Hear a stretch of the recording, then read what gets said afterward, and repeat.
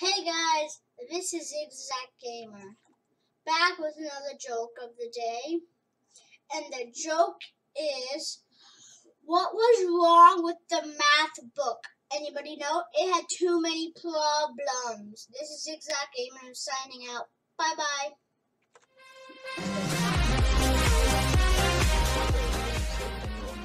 Can you leave a little bit of a longer pause? Okay.